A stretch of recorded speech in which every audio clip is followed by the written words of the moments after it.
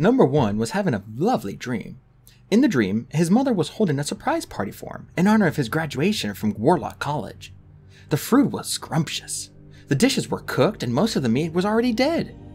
He was reaching for a beautifully presented basted pheasant in the basket of wo- woven herb red robes, just like the one described in chapter 3 of Lady Herthington Smith's Hedgerow. When suddenly the vision retreated into a far distance, as the reality itself were being stretched. Number one tried to follow the feast, but it drew further and further away, and now his legs wouldn't work, and number one couldn't understand why. He looked down and saw to his horror that everything from his armpits down had turned to stone. The stone virus was spreading upward across his chest and along his neck. Number one felt the urge to scream, and he was suddenly terrified that his mouth would turn to stone before he could.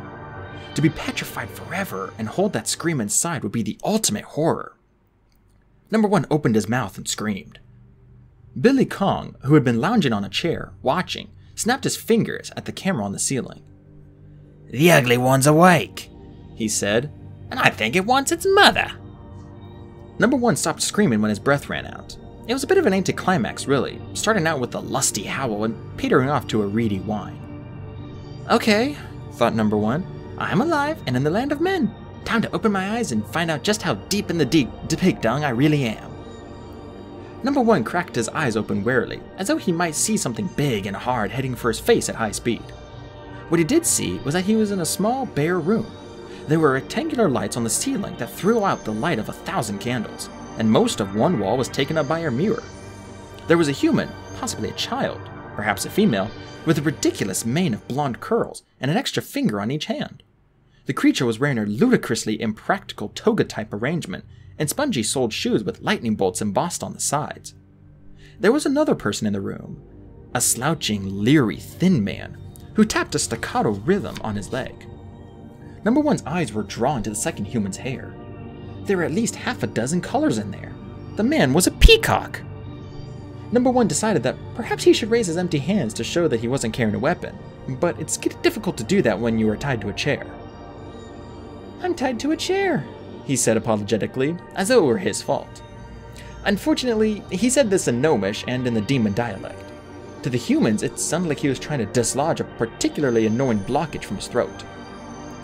Number one resolved not to talk again. Doubtless he would say the wrong thing, and the humans would have to ritually execute him. Thankfully, the female seemed eager to chat.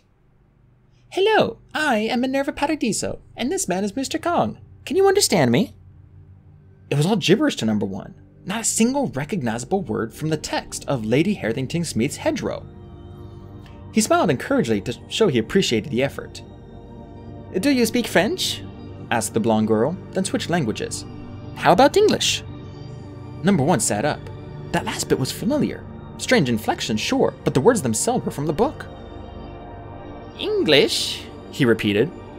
This was the language of Lady Herthington Smith, learned at her mother's knee, explored in the lecture halls of Oxford, he used to profess her undying love for Professor Rupert Smith. Number one loved the book. He sometimes believed that he was the only one who did. Even Abaddon seemed to appreciate the romantic bits. Yes, English. The last one spoke it well enough. French, too.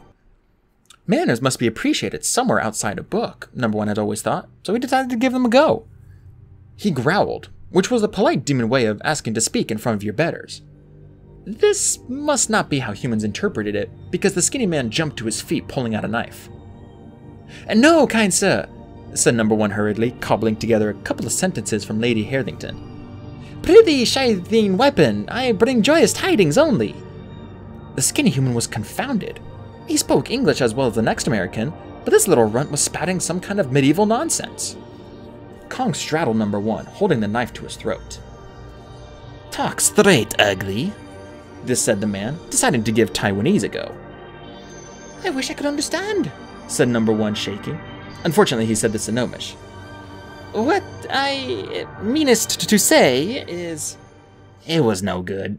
Quotes from Lady Halington had he could generally shoehorn into any occasion, just weren't coming under pressure. Talk straight or die! shrieked the human into his face. Number one shrieked right back at him.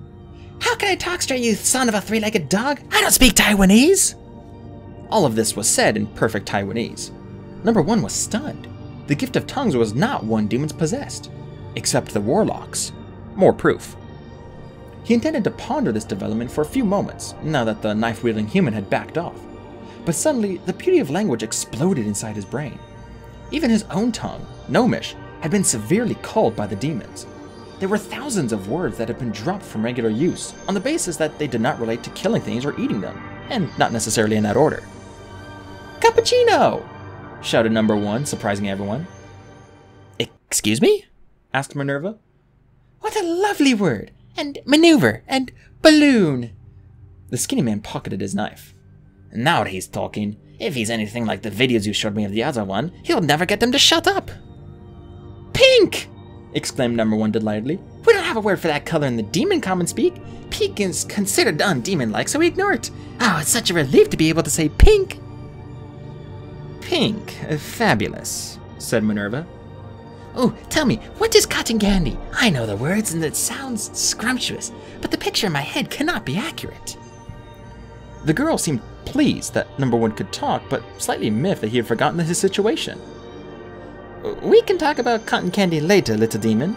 There are more important things for us to discuss. Yes, agreed Kong. The demon invasion, for example. Number one rolled the sentence round in his head. Sorry, my guess might not be fully developed. The only meaning I have for invasion is a hostile entry of an armed force of a territory. That's the one I mean, you little toad. Again, I'm a little confused. M my new vocabulary is telling me that a toad is a frog-like creature. Number one's face fell. Oh, I see. You're insulting me. Kong scowled at Minerva. I think I preferred him when he spoke like an old movie. I was quoting scripture, explained number one, enjoying the shape of these new words in his mouth. From the sacred book, Lady Harrington Smith's Hedgerow. Minerva frowned, looking at the scene as she thought back in time. Lady Harrington Smith. Why is that familiar? Lady Harrington Smith's hedgerow is the source of all our human knowledge. Uh, Lord Abbot brought it back to us. Number one bit his lip, shutting off his own babbling. He had said too much already. These humans were the enemy, and he had given them the blueprint to Abbot's plans. Blueprint. Nice word. Minerva clapped her hands once sharply. She had found the memory she was looking for. Lady Harrington Smith! My goodness, that ridiculous romance. Remember Mr. Kong? Kong shrugged. I don't read fiction. Manuals mostly. No, remember that video footage of the other demon? We let him have a book. He carried around like a security blanket. Oh yeah, I remember that. Stupid little goat. Always toting around that stupid book. You know you're repeating yourself, said number one, chattering nervously. There are other words for stupid. Dim, dense, slow, thick, just to name a few. I could do Taiwanese if you prefer. A knife appeared in Kong's hand as if from nowhere. Wow, said number one. That's a real talent. A bravura, in fact. And Kong ignored the compliment, flipping the knife so he was holding the blade. Just shut up, creature, or this goes between your eyes. I don't care how valuable you are to Miss Paradizo. To me, you and your kind are simply something to be wiped off the face of the earth. Minerva folded her arms. I will thank you, Mr. Kong, not to threaten our guest. You work for my father, and you will do what my father tells you to do. And I'm pretty sure my father told you to keep a civil tongue in your head. Minerva Paradizo may have been a precocious talent in many areas, but because of her age, she had limited experience. From her studies, she, all, she knew how to read body language, but she did not know that a skilled martial artist can train himself to control his body so that his real feelings are hidden. A true disciple of the discipline would have noted the subtle tightening of the tendons on Billy Kong's neck. This was a man holding himself in check. Not yet, his stance said. Not yet.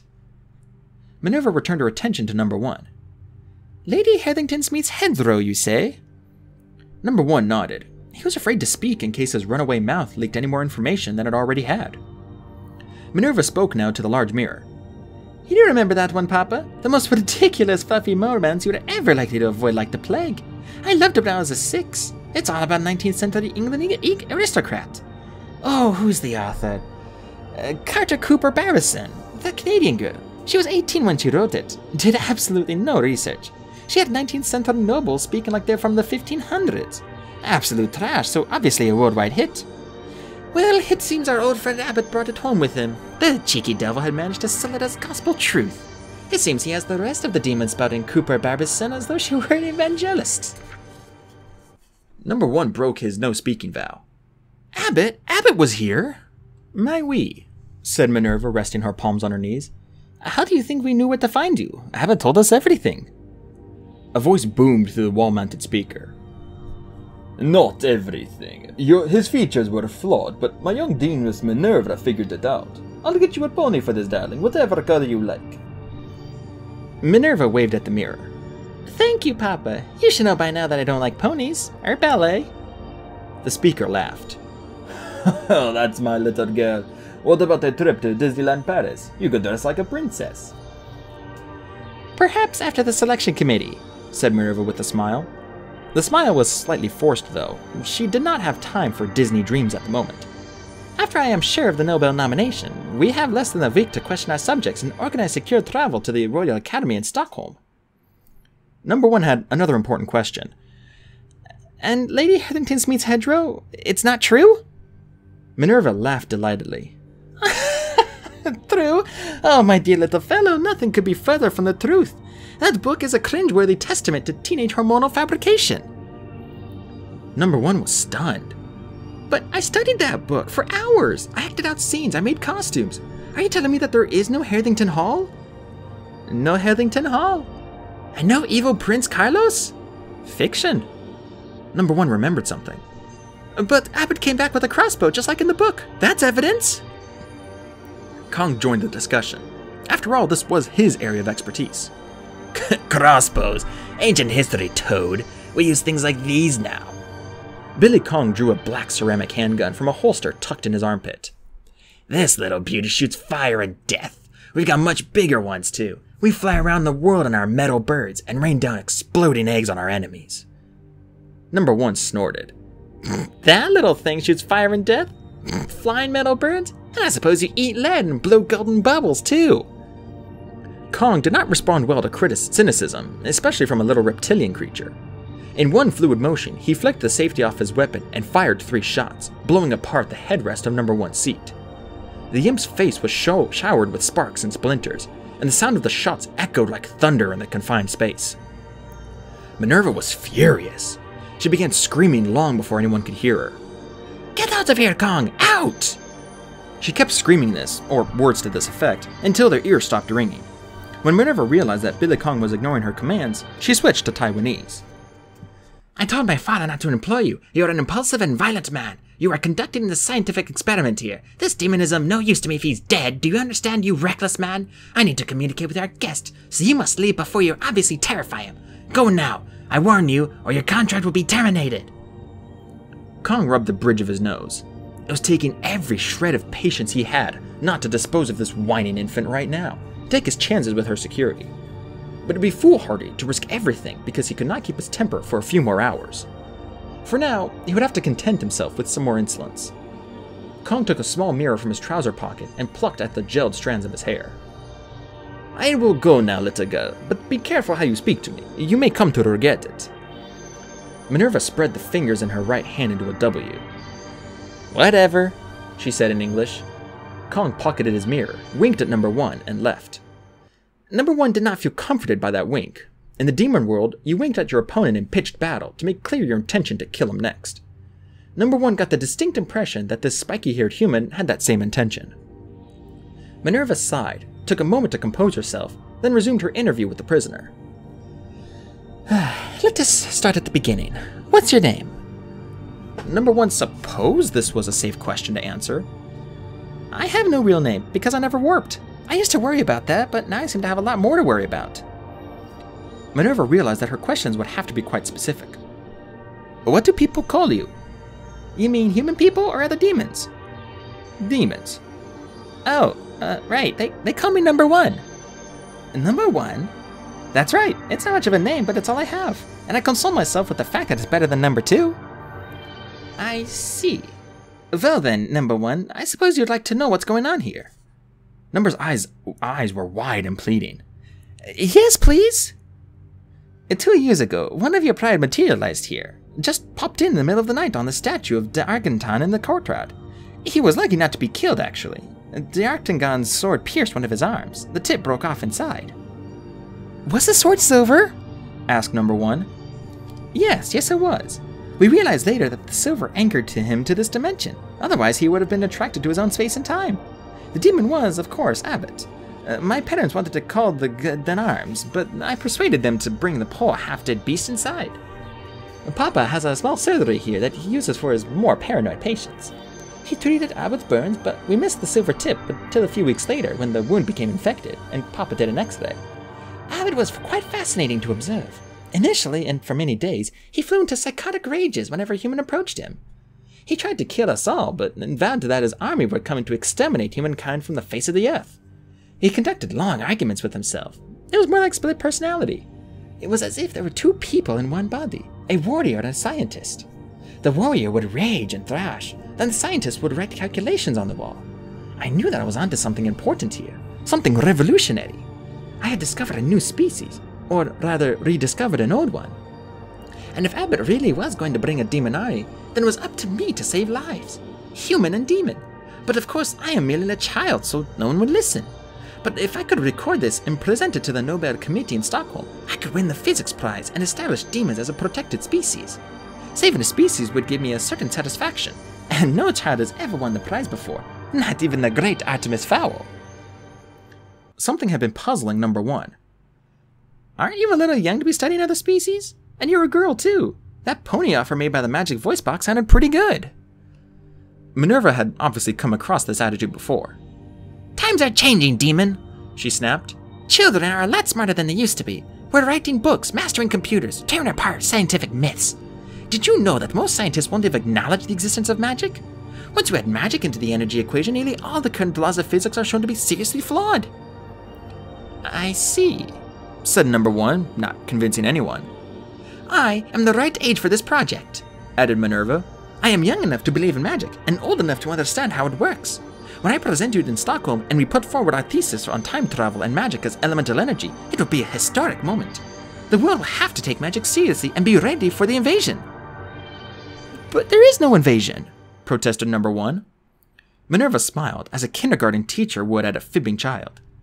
I know all about it. Once Abbot's warrior personality became dominant, he told us about the Battle of Taillte and how the demons would return and wage a terrible war with the Mudmen, as he called us. There was a lot of blood and hacking of limbs involved. Number one nodded. That sounded like Abbot. That's what Abbot believed, but things have changed. I explained that to him. I explained that he had been flitting around time for 10,000 years, and that he had come a long way since then. There are more than of us than there used to be, we don't use crossbows anymore. You didn't? You don't? You saw Mr. Kong's gun. This is only a tiny example of the kind of weaponry we have.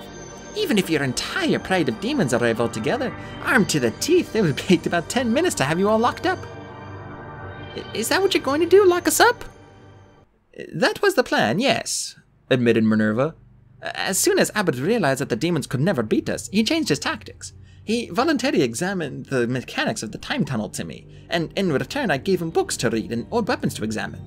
After a few days of reading, he asked to be called Abbot, after General Leon Abbot in the book. I know that once I presented Leon Abbot in Stockholm, it would be easy to get funding for an international task force. Whenever a demon popped up, we could tag him with silver and house him in an artificial demon community for study. The Central Park Zoo is my preferred location. Number one ran the word zoo through his new lexicon. Uh, aren't zoo for animals? Minerva gazed at her feet. Yes, I, I am rethinking that, especially having met you. You seem quite civilized, not like that Abbot person. He was an animal. When he arrived, we tended his wounds, nursed him back to health, and all he could do was try to eat us, so we had no choice but to restrain him. So, you're not going to lock us up in a zoo anymore? Actually, I don't have a choice. Judging by my calculations, the time tunnel is unraveling at both ends and deteriorating along the shaft. Soon, any calculations will be unreliable, and it will be impossible to predict where or when demons will materialize.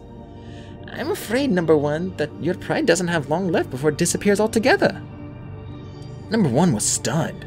This was more information than anyone could absorb in one day. For some reason, the demoness with the red markings flashed in his mind. Isn't there any way to help? We are intelligent beings, you know, not animals. Minerva stood and paced, stretching one of her corkscrew curls. I have been giving that some thought. There's nothing that's to be done without magic, and Abbot told me the warlocks all died in the transition. It's true, number one said. He didn't mention that he might be a warlock himself. Something told him that this was valuable information and is not a good idea to reveal too much information to a person who would tie you to a chair. He had said too much already. Maybe if Abbot had known about the time spell, he wouldn't have been so eager to get back to Hybras, mused Minerva. Papa told him that there was a silver chip in his arm, and that very night he dug it out with his nails and disappeared. We have the whole thing on tape. I wondered every day if he managed to make it back home. He made it, said number one. The time spell took him right back to the beginning. He never said anything about this place, just turned up with the book and the crossbow, claiming to be our savior. It was all lies.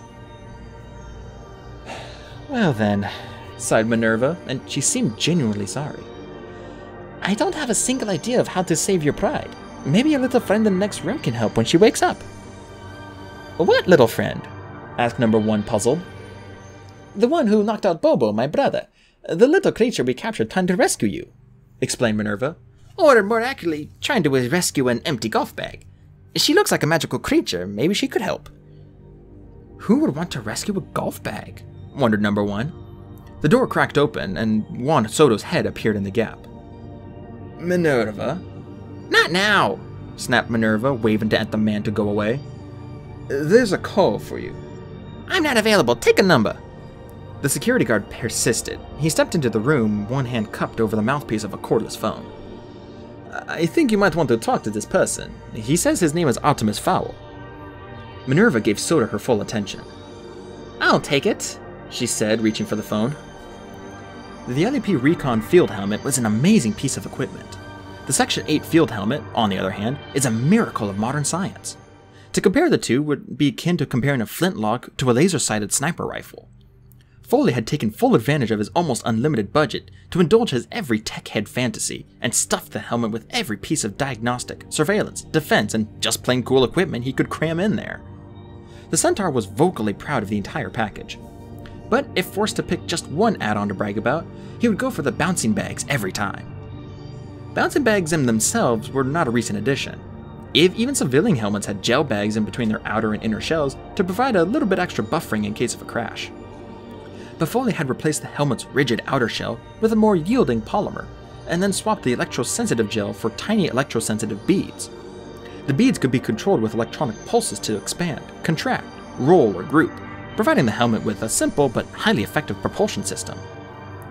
This little marvel can't fly, but it can bounce wherever you want it to, Foaly had said earlier, when Holly was signing out her equipment. Only commanders get the flying helmets. I wouldn't recommend them, though. The engines field have been known to straighten perms. Not that I'm saying you have a perm, or need one for that matter. While number one was being interrogated by Minerva, Foaly was flexing his fingers over the remote control for Holly's Section 8 helmet. At the moment, the helmet was locked in a wire mesh strongbox at the rear of the security office. Foaly liked to sing a little ditty when he worked. In this instance, the song was the Riverbend classic. If it looks like a dwarf, smells like a dwarf, then it's probably a dwarf.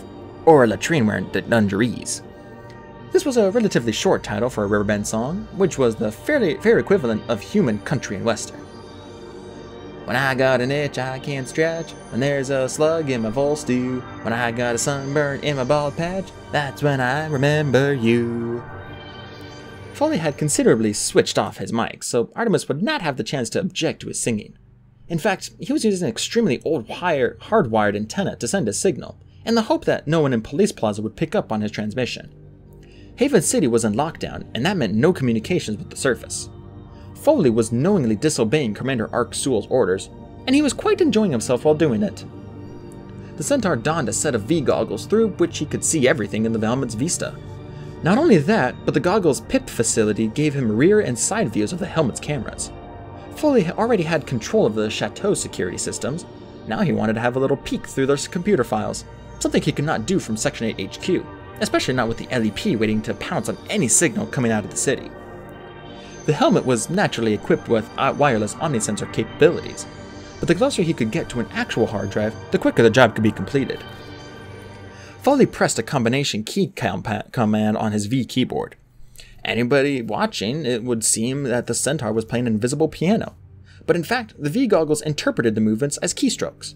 A small laser pencil popped out of a hidden compartment just above the right ear cushion of Holly's helmet. Foaly targeted the wire mesh's box blocking mechanism. One second burst. Fire. Nothing happened, so Foaly swore briefly, turned on his microphone, and tried it again. One second burst. Fire.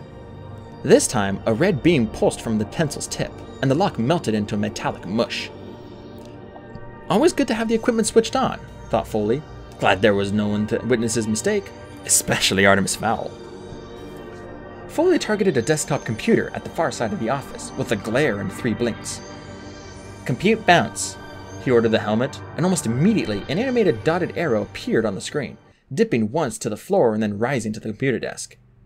Execute bounce, said Foaly, and smiled as his creation rolled into life. The helmet hit the floor with a basketball ping, then bounced across the room, directly onto the computer desk. Perfect, you genius, said Foaly, congratulating himself. Sometimes his own achievements brought a tear to his eye. I wish Caballine could see that, he thought, and then, wow, I must be getting serious about this girl. Caballine was a centaur he had bumped into at a gallery downtown. She was a researcher with PPTV by day and a sculptor by night. A very smart lady, and she knew all about Foaly. Apparently, Caballine was a big fan of the Mood Blanket, a multi-sensor massage and homeopathic garment designed by Foaly specifically for centaurs. So they talked about that for a half hour. One thing led to another, and now he found himself jogging with her every evening, whenever there wasn't an emergency.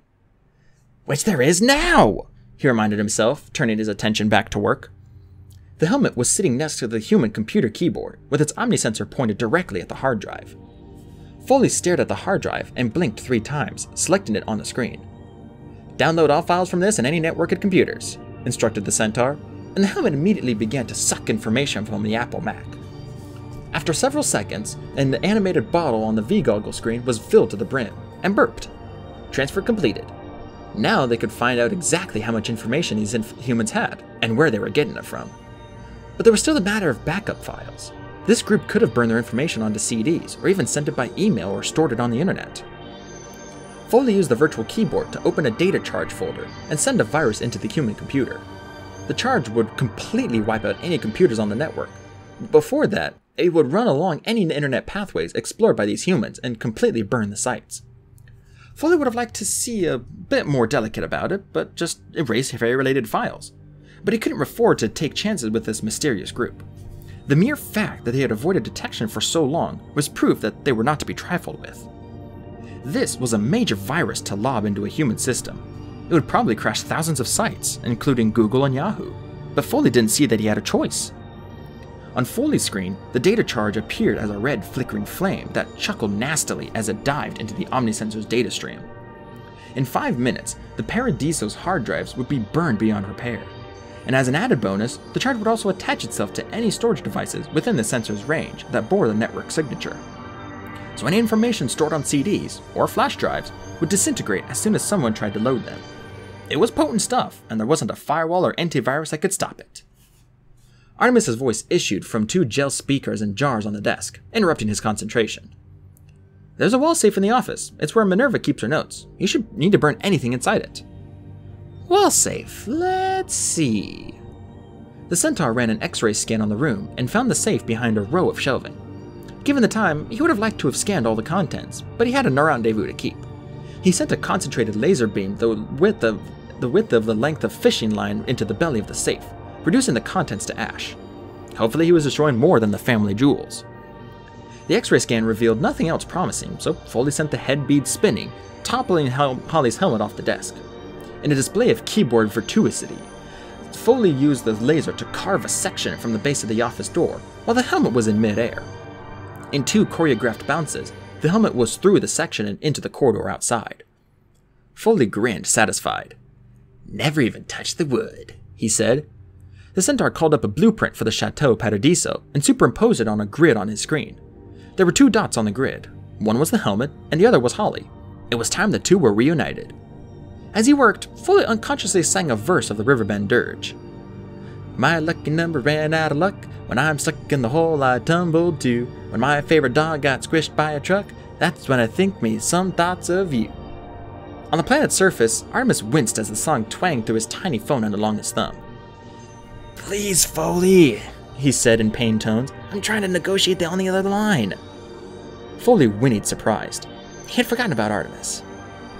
Some people ain't got no riverbend in their souls, he said, switching off his microphone. Billy Kong decided that he'd have a little word with the new prisoner, the female, if it was indeed female. How was he supposed to know for sure what class of creature it was? It looked like a girl, but maybe demon girls weren't the same as human ones. So Billy Kong thought he might ask it what it exactly it was, among other things. If the creature decided not to answer, Kong didn't mind. There were ways to persuade people to talk. Asking them nicely was one way, giving them candy was another. But Billy Kong preferred torture. Back in the early 80s, when Billy Kong was still plain old Jonah Lee, he had lived in the California beach town of Malibu with his mother Annie and big brother Eric. Annie worked two jobs to keep her boys in sneakers, so Jonah got left with Eric in the evenings. That should have worked out fine. Eric was 16 and old enough to look after his kid brother. But like most 16 year olds, he had more on his mind than little brothers. In fact, babysitting Jonah was seriously interfering with his social life. The problem was, as Eric saw it, that Jonah was an outdoorsy kind of boy. As soon as Eric took off to hang out with his friends, Jonah would ignore his big brother's orders and head out into the California evening and outdoors in the city was no place for an 8 year old. So, what Eric needed to do was devise a scheme that kept Jonah indoors and allowed Eric to roam free. He came upon the perfect strategy quite by accident one night, returning home after a late night argument with his girlfriend's other boyfriend and his brothers. For once, Jonah had not ventured out and was plonked in front of the TV, watching a horror show on hacked cable. Eric, who has always been impulsive and reckless, had taken to sneaking around with the girlfriend of a local gangster. Now word had leaked out, and the gang was after him. They'd roughed him up a bit already, but he had gotten away. He was bloody and tired, but still kind of enjoying himself. Lock the doors, he called to his little brother, staring at him out of his stup- TV stupor.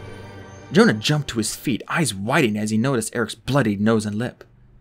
What happened to you? Eric grinned. He was that kind of person. Exhausted, battered, but buzzing with adrenaline. I got. There was this bunch of and then he stopped because the spark of an idea was ricocheting around in his head. He must look pretty beat up. Maybe he could use this to keep little Jonah indoors while mom was working. I can't tell ya, he said, dragging a smear of blood across his face with one sleeve. I've sworn an oath. Just bolt the doors and close the shutters. Usually, Jonah didn't have time for his brother's theatrics, but tonight there was blood and horror on the TV, and he could hear footsteps pounding up the driveway. Damn it, they found me, swore Eric, peeking through a shutter. Little Jonah grabbed his brother's sleeve. Who's found you, Eric? You gotta tell me. Eric appeared to consider it. Okay, he said finally. I belong to a, uh, secret society. We fight a secret enemy. What, like a gang? No, we fight demons. Demons? said little Jonah, half skeptical, half scared out of his wits. Yeah, yeah, they're all over California. By day, they're normal guys, accountants, basketball players, stuff like that. But at night, they peel off their skin and go hunting kids, under 10s. Uh, under 10s, like me? Like you, exactly like you. I found these demons chewing on a couple of twin girls, maybe eight years old. I killed most of them, but a few were followed me home.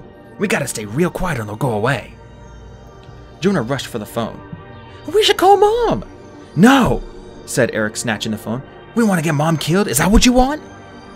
The idea of his mother dying started Jonah crying. No, no, mom, mom can't die. Exactly, Eric said gently. You've got to leave the demon slaying to me and my boys. When you're 15, then you'd be, be sworn in. But until then, this is our secret. You stay in the house and let me do my duty. Promise? Jonah nodded, blubbering too much to say the word. And so the brothers sat huddled on the sofa while Eric's girlfriend's boyfriend's brothers battered on the windows and called him out. This was a cruel trick, Eric thought. Maybe I'll just let it run for a couple of months, and keep the kid out of trouble until everything dies down. The deception worked well. Jonah didn't set foot outside the house after dusk for weeks. He sat on the couch with his knees drawn to his chin, waiting for Eric to return with elaborate demon slaying stories. Every night he feared that his brother would not return, that the demons would kill him. One night, his fears came to pass. The cops said that Eric had been killed by a notorious gang of brothers who had been gunning for him something about a girl. But Jonah knew different. He knew the demons had done it. They'd peeled off their faces and killed his brother.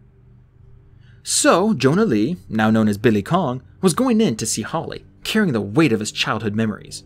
For the sake of his sanity, he had managed to convince himself over the decades that there were no demons, that his beloved brother had lied to him. This betrayal had messed him for, up for years, preventing him from forming lasting relationships and making it a lot easier for him to hurt people. And now this crazy Minerva girl was paying him to help her hunt down actual demons. And it turns out they were real. He had seen them with his own eyes. At this stage, Billy Kong couldn't tell fact from fiction. Part of him believed that well, he had a bad accident and that all this was a coma hallucination. All Billy knew for sure was that if there was the slightest chance that these demons were the same ones who'd killed Eric, they were going to pay. It was revenge he was after. Holly was not too happy playing the victim. She had enough of that in the academy. Every time the curriculum was thrown up a role playing game, Holly, as the only girl in that class, had been picked to be the hostage, or the elf walking home alone, or the teller facing a bank robber. She tried to object that this was stereotyping, but the instructor had replied that stereotypes were stereotypes for a reason, and get that blonde wig on. So, when Artemis proposed that she allow herself to get caught, Holly had taken a bit of persuading. Now she was tied to a wooden chair in a dark, damp basement room, waiting for some human to come and torture her.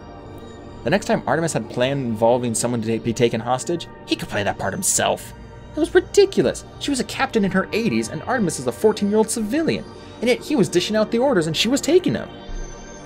That's because Artemis is a tactical genius, said her sensible side. Oh, shut up. Her irritated side responded eloquently. And then Billy Kong came into the room and proceeded to irritate Holly even further. He glided across the floor like a pale, hair gelled ghost, circling Holly silently several times before speaking. Tell me something, demon. Can you peel off your face? Holly met his eyes. With what? My teeth? Hands tied, moron! Billy Kong sighed.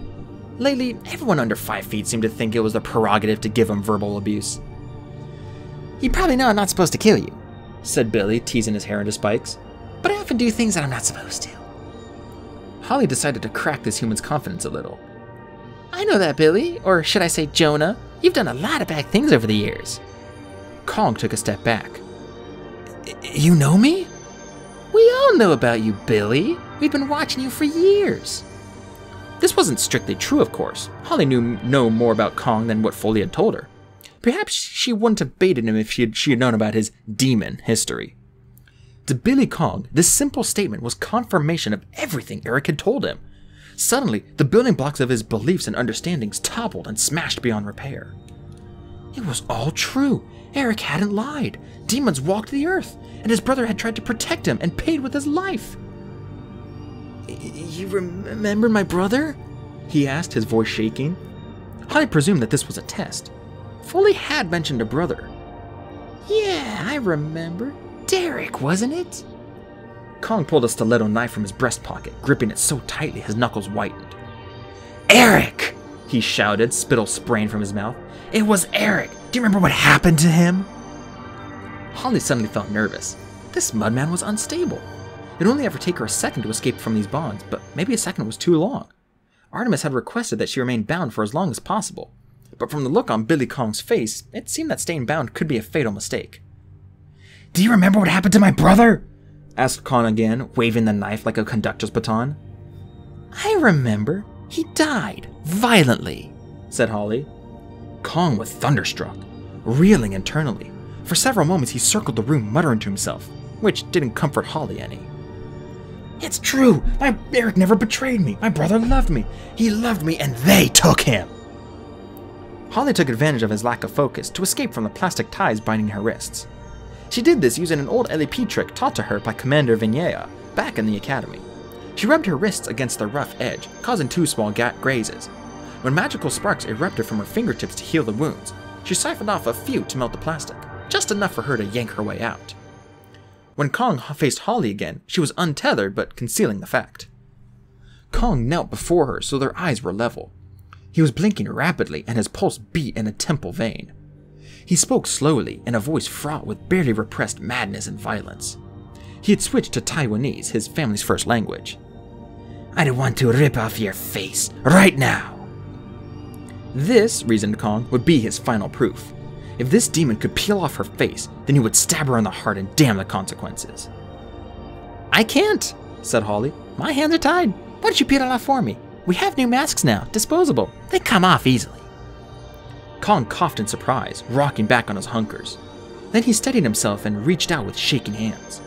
His hands did not shake from fear, but from anger and sorrow that he had dishonored his brother's memory by believing the worst of him. At the hairline, said Holly. Just grab and pull. Don't worry if you tear it.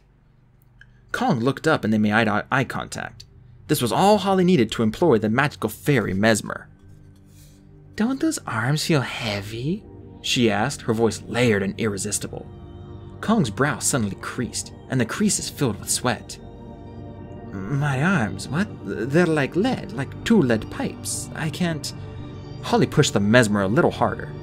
Why don't you put them down? Take it easy. Sit on the floor. Kong sat on the concrete. I'm just going to sit for a second. The, you're still doing the face peeling thing, but in a second, I'm tired. You probably feel like talking. You know what, Demon? I feel like talking. What should we talk about? This whole group you're involved with, Billy. The Paradizos. Tell me about them. Kong snorted. The Paradizos. You're only dealing with one Paradizo here, and that's the girl Minerva. Her daddy is just a money man. If Minerva wants it, Gaspard pays for it. He's so proud of his little girl, the genius that he does whatever she says. Can you believe that she convinced him to keep the whole demon thing quiet until after the Nobel Council gets a look at her research? This was very good news. You mean there's no one outside this house knows about the demons? Hardly anybody inside the house knows. Minerva is paranoid that some other egghead will get a hold of her work. The staff thinks we're guarding a political prisoner who keeps his face ready done. Only Juan Soto, the chief of in-house security, and myself know the truth. Does Minerva keep records? Records? She has out everything down, and I mean everything. We have records of every demon action, right down to toilet breaks. She got every twitch on video. The only reason there's no cameras down here is that we weren't expecting anyone. Where does she keep those notes? A little wall safe in the security office. Minerva thinks I don't know the combination, but I do. Bobo's birthday. Holly touched a skin colored microphone pad glued to her throat. A wall safe in the security office, she said clearly. I hope you're getting that. There was no reply. Wearing an earpiece had been too risky, so Holly had to make do with the mic pad on her neck, and iris cam suckered like a contact lens over her right eye. Kong still felt like talking. You know, I'm gonna kill all you demons. I've got a plan, real clever too. Miss Minerva thinks we're going to Stockholm, but that's never gonna happen. I'm just waiting for the right moment. I know that silver is the only thing keeping you in this dimension, so I'm just gonna send you back and give you a little present to take with you. Not if I can help it, thought Holly. Kong smiled at her. Are we doing the face peeling thing? Can you really do that? Of course I can. Are you sure you want to see it? Kong nodded, slack jawed. Okay then, watch carefully. Holly raised her hands to her face. When she took them away, her head had disappeared. Her body and limbs quickly followed suit. Not only can I peel my face, said Holly's voice from thin air, I can do my entire body. It's true. It's all true. Then a tiny invisible fist swished through the air, knocking him into unconsciousness. Billy Kong lay on the concrete floor, dreaming that he was Jonah Lee once more, and his brother stood before him saying, I told you so, bro. I told you they were demons. They murdered me back in Malibu. So what are you gonna do about it? And little Jonah answered, I'm working on it, Eric. Minerva accepted the phone from the security guard. Minerva Paradizo speaking. Minerva, this is Artemis Fowl, said a voice in perfect French. We met once across a crowded room in Sicily. I know who you are. We nearly met in Barcelona, too. And I know it's really you. I memorized your voice pattern and cadence from a lecture you gave on Balkan politics two years ago at Trinity College. Very good. I find it strange I haven't heard of you. Minerva smiled. I am not as careless as you, Artemis. I prefer anonymity until I have something exceptional to be recognized for. The existence of demons, for instance, prompted Artemis. That would be exceptional. Minerva gripped the phone tightly.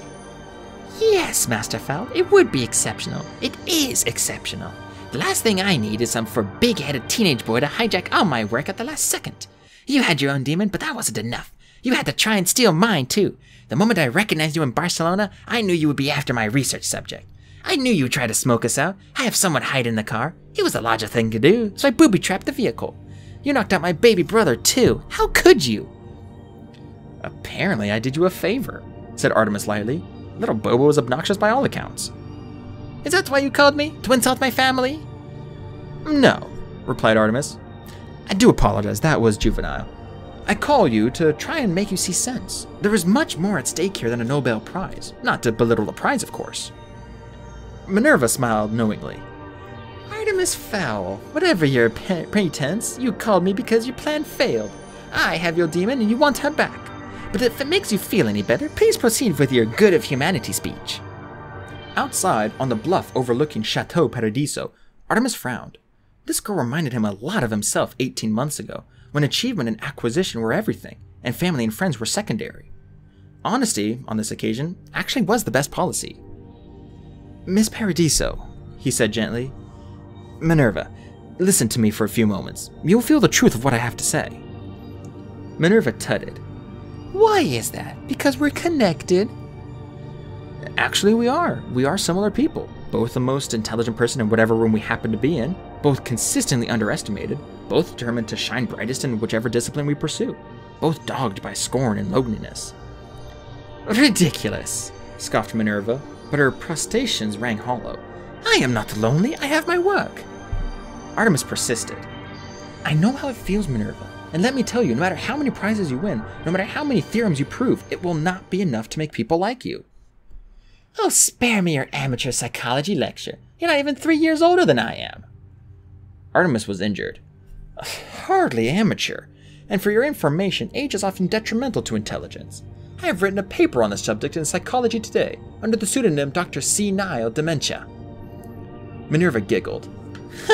I get it. Senile dementia. Very good. Artemis himself smiled. You are the first person to get that. I always am. Me too. Don't you find that tiresome? Incredibly. I mean, what is wrong with people? Everybody says I have no sense of humor, that I construct a perfectly sound pun around a well known psychological condition and is ignored. People should be rolling in the aisles. Absolutely, agreed Minerva. That happens to me all the time. I know. I love that Murray Gell-Mann kidnapping a quark joke that you did on the train. Very clever analogy. The congenial conversation ground to a frosty halt. How did you hear that? How long have you been spying on me? Artemis was quietly stunned. He had not meant to reveal that fact. It was most unlike him to chatter on about trifles when there were lives at stake. But he liked this Minerva girl. She was so similar to him. There was a security camera in the compartment on the train. I procured the tape, had it enhanced, and read your lips. Hmm, said Minerva. I don't remember the camera. It was there, inside a red plastic bubble, fisheye lens. I apologize for the intrusion of your privacy, but it was an emergency. Minerva was silent for a moment. Artemis, we could have a lot to talk about. I haven't talked this much with a boy in, well, ever. But I have to finish this project. Can you call me again in six weeks? Six weeks will be too late. The world will be a different place and possibly not a better one. Artemis, stop it. I was just beginning to like you, and now we're back to where we started. Just give me one more minute, Artemis insisted. If I can't convince you within a single minute, then I will hang up and leave you to your research. 59, 58. Artemis wondered if all girls were so emotional. Holly could be this way too, warm one moment and icy the next. You were holding two creatures captive, both sentient, neither human. If you expose either one to the wider scientific community, then their kind will be hunted down. You will be responsible for the extinction of at least one species. Is that what you want? That's what they want, retorted Minerva. The first one we rescued threatened to kill us all and possibly eat us. He said that the demons would return and wipe out the human scourge. I know all about Abbot, said Artemis, using what he had learned from Minerva's own surveillance cameras. He was a dinosaur. Demons could never take on humans now. Judging by my temporal calculations, Abbot was whisked 10,000 years into his own future, then sent back again. Declaring war on demons would be like declaring war on monkeys. In fact, monkeys would be a bigger threat. There are more of them. And anyway, the demons can't even fully materialize unless we shoot them full of silver. I am sure you'll find a way around that. Or one could get through accidentally, just like Abbot, then open the gates for the rest of them. Highly unlikely. I mean, really, Minerva, what are the odds? So, Artemis Fowl wants me to forget all about my Nobel Prize and turn my demon captives loose. Forget the project, certainly, said Artemis, checking his watch. But I don't think there is any need for you to set your captives free. Oh, really? And why is that? Because, I imagine, they are already gone. Minerva spun around to face the spot where number one had been sitting. It was empty.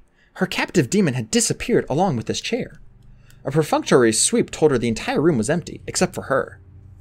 Where is he, Artemis? She screamed into the phone. Where is my prize? Forget about all this, said Artemis softly. It's not worth it. Take it from someone who has made your mistakes. I will call you soon. Minerva squeezed the phone as though it were Artemis's neck. You tricked me, she said, the truth suddenly dawning on her. You allowed me to capture your demon. But Artemis did not reply. He had reluctantly closed his fist on the conversation. Generally, outsmarting someone gave him a warm and fuzzy feeling, but hoodwinking Minerva Paradizo just made him feel like a sneak. It was ironic that he felt like a bad guy now that he was almost a good guy. Butler glanced across him from his perch on the knoll. How'd that go? He asked. Your first lengthy conversation with a girl your own age. Fabulous, said Artemis, his voice dripping with sarcasm. We're planning a June wedding.